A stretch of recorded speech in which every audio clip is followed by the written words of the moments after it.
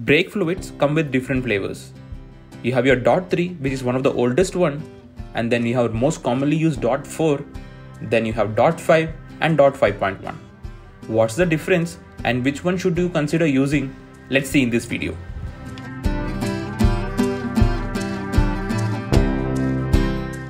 Before getting into understanding brake fluids, let's understand how does the brake fluid work. For this example, let's take a look at regular master cylinder of your bike. You have your piston and its springs. Now let's assume that the master cylinder is filled with fluid and the system is properly bled. I have made a separate video on how to bleed your brakes, find the link in the i button above. Now once you press the lever, usually any fluid moves as shown. But when you look at its molecular level, you can see the fluid moves initially, then as soon as it hits the piston, it compresses and then on its maximum compression it starts moving the piston. However, in comparison with the brake fluid, as it is a non-compressible one, it directly pushes the piston. This is very important as you don't want any lag or squishy feeling without any feedback when you apply your brakes. And being a non-compressible fluid, your brake fluid does the job of effectively transferring the brake force from your lever to the calipers. But this is not the only job that the brake fluid does. Brake fluid, in order to be compatible with all the ABS modules, it has to be less viscous or less thick in simple terms. But being too lean is also not a good thing, as your brake fluid must also lubricate all the oil seals inside your master cylinder and the calipers. Apart from this, your brake fluid must have high boiling point in order to avoid any vaporizing of your brake fluid under heavy pressure when you apply brakes. With all these, your brake fluid must also be corrosion resistant in order to prevent your master cylinder and the brake lines and the entire braking system to function smoothly even for a longer time. With all these properties in mind, different brake fluids handle these all situations in different types.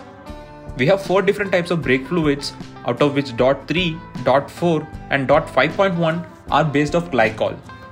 And these three can be mixed together. Now you must be wondering what about dot 5? So the dot 5 is completely silicon based and this is a separate type of brake fluid which cannot be mixed with any of the other brake fluids. Now let's quickly understand what is glycol based brake fluids and how it is different from a silicon based brake fluid. So the glycol based brake fluids are basically hydrophilic in nature. That means it has a tendency to attract more moisture from the environment. When it comes to the silicon type brake fluid, it is hydrophobic in nature, which means it will prevent or repel water to the environment. Due to this factor, it doesn't attract water and your brake fluid will remain fresh for a longer time and it has very less maintenance and a longer service life. Along with these, you might have also heard that your brake fluid will damage your paint parts. And this is true in terms of glycol based brake fluids, but when it comes to a silicon based, it is totally harmless for your paints. Now all might be thinking dot 5 is the best brake fluid to go, but there is a catch. The cost for buying the dot 5 brake fluid and considering its viscosity and its compressibility, it is very much unusable for all the bikes that is currently running in India. Dot 5 brake fluids are created for military use as they prevent moisture from getting into the fluid so which it can be stored for a longer time. So now as one is eliminated, now you are left with three options to consider. Dot 3, dot 4 and dot 5.1 and the difference between all these three comes down to the boiling point. The more the boiling point, the more heat withstanding capacity each brake fluid will have. Dot 3 brake fluids are the oldest one and most of the manufacturers are already moved to dot 4. There are few manufacturers who still uses dot 3 just to cut down cost on the small cc bikes. While consider checking the boiling point, there are two metrics to consider. One when it's completely dry, that is there is no moisture at all, and the other case is up to 3.7% water content in the brake fluid.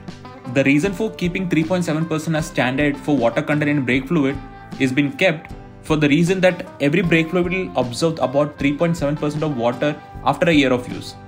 So now dot 3 has the lowest boiling point around 400 degrees dry and 280 degrees when it's in wet condition. And dot 5.1 has highest boiling point of around 520 degrees in the dry condition and around 360 degree in the wet condition. Now you people might be wondering what are these racing fluids that they sell online. And these are nothing but 5.1 brake fluids which has even higher boiling point due to certain chemicals that is added to it.